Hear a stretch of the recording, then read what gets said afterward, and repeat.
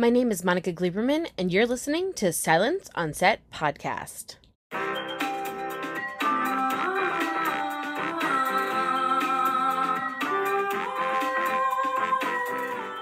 For today's podcast, you'll be listening to the cast of Acidman, a film that is currently playing at the 2022 Tribeca Film Festival, currently starring Dianna Agron and Thomas Haden Church. Agron plays Maggie, who arrives in a small, rundown house in the middle of nowhere to find it defaced with big orange letters reading Acidman, and we soon learn that she's spent over a decade apart from her father, played by Thomas Haden Church. The two sat down with us to discuss the film and why it's so important for you guys to go screen it and check it out at the festival. So here is Dianna Agron and Thomas Haden Church. Hi guys, I'm so excited to talk with you. Um, I watched Monica. the movie. I'm so excited. It's so good. Oh. So, um, I wanted to start off with just quickly, if you guys can give, you know, everyone that hasn't seen it yet, a kind of synopsis of what it's about, mm-hmm. and then what drew you in to the film, and then specifically um, Dianna for you for Maggie, and then Thomas for you for Lloyd. This film is about uh, two characters my ca- character Maggie, who is the daughter of Thomas's character Lloyd, who haven't seen each other for 10 years. And it's my character that initiates this reconnection. She basically shows up very unannounced and very much wants to bridge this. Uh, what feels the beginning kind of almost insurmountable uh, task of of finding their own balance again because it's been very long gone. What drew me to this role i um, there was a lot of personal truth steeped in this film.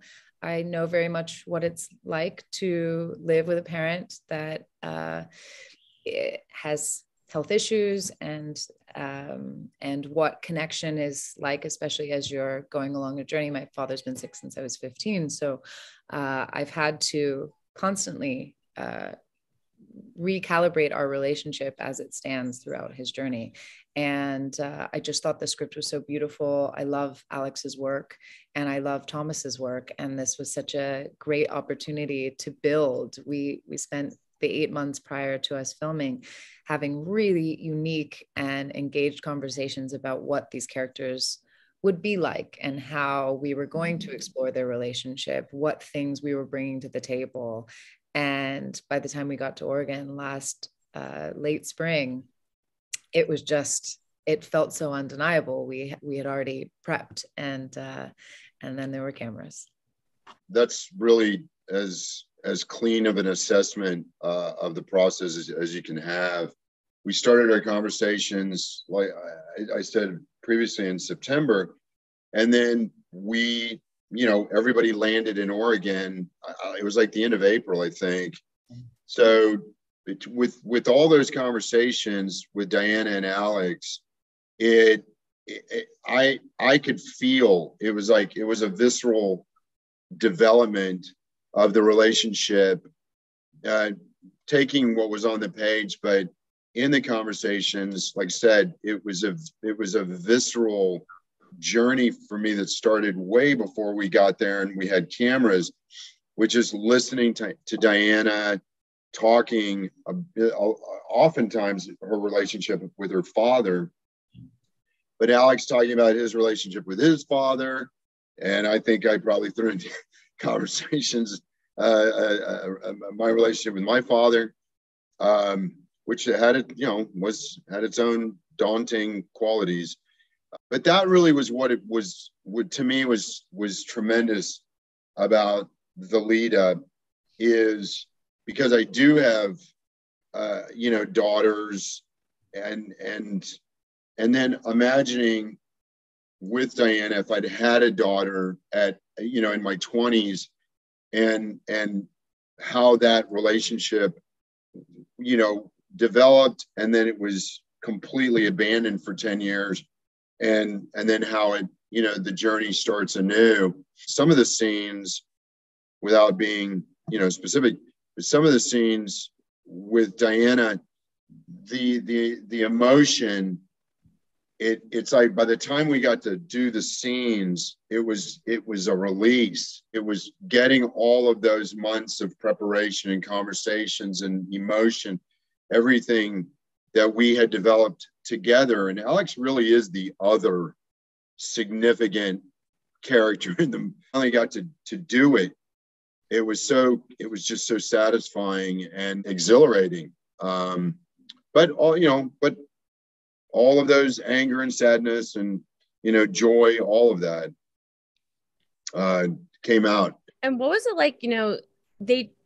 It's interesting because there is a ten year gap in between their relationship, but there's so much love there that comes through right even right away um like dianna for your character maggie like i could tell like right away she's there and she wants to she has other things going on but she's there and she wants to see her dad and talk to her dad and is sensitive with mm. the things that her dad's going through and then thomas free for like lloyd you play him so good um with Thank just you. all his kind of just ups and downs and things that he's going through but right away there's a connection and mm. then you guys do this beautiful way of using alternative ways of communicating to kind of get to deeper conversation to get you guys to a closer place.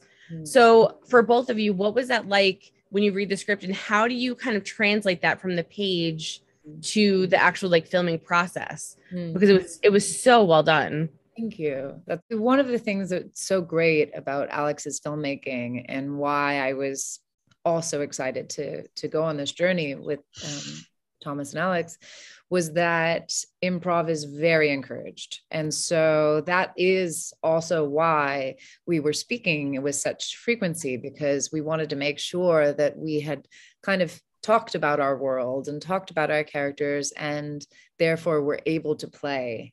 And that was so present and that was so freeing in the process because you knew that oh i do have this bag of tools and if it feels right to do or say this it is absolutely encouraged and and promoted that i think was really really helpful and enabled for some you know there were some really surprising moments because of that the way you communicate is so interesting and you're able to do it in a way where you can talk about much deeper kind of serious conversations without a typical conversation, if that makes sense. Right. It's just like the way you guys are able to communicate. So when you read that on the script, how do you take that into the actual acting process?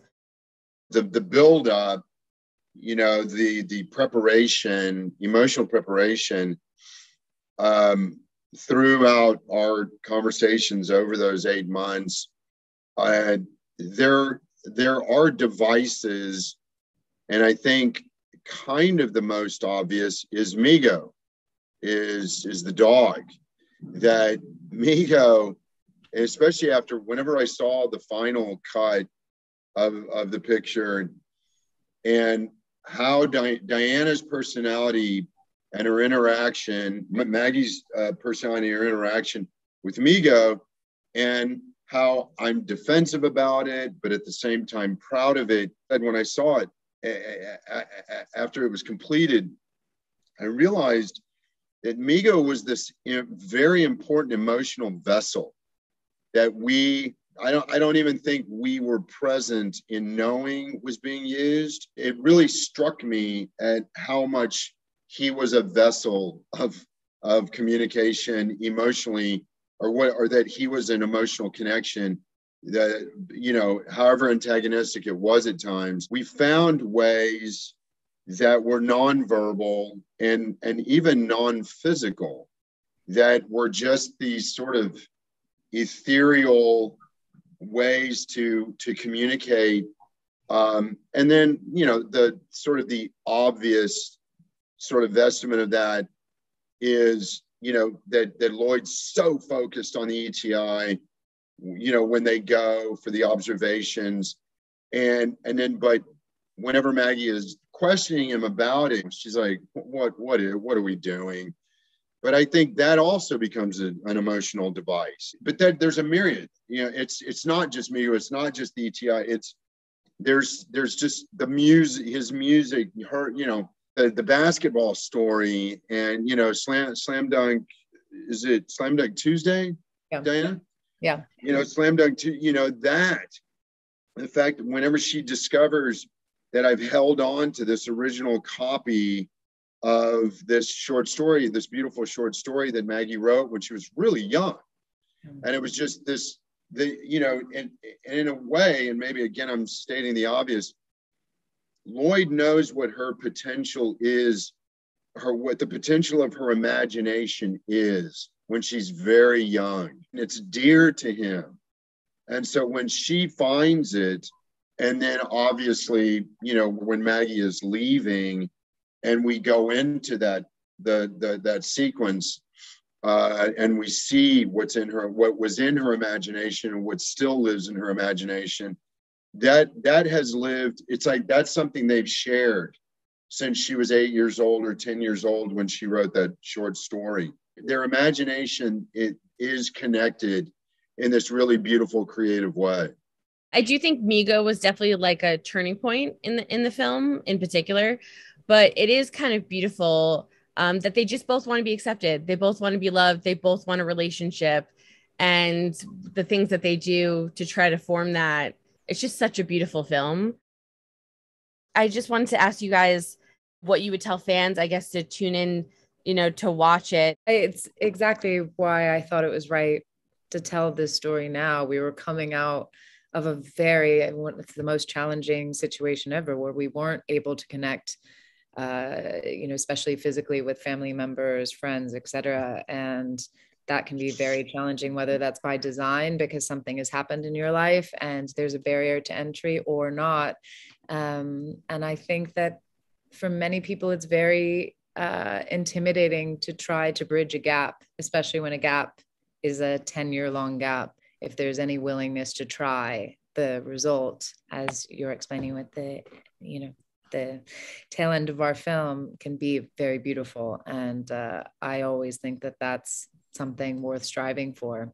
I remember um, when Maggie comes in that and and Lloyd is working on something and and then you, you know whenever I stood up it was really hard to contain there's just such a manifest of, of sadness and loss and, and everything that, that Lloyd hadn't, didn't realize how precious her presence in his life was until she now is going away again.